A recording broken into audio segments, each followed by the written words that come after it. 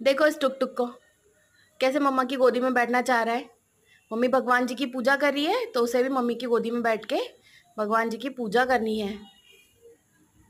भगवान का बड़ा ही भक्त है हमारा टुक टुक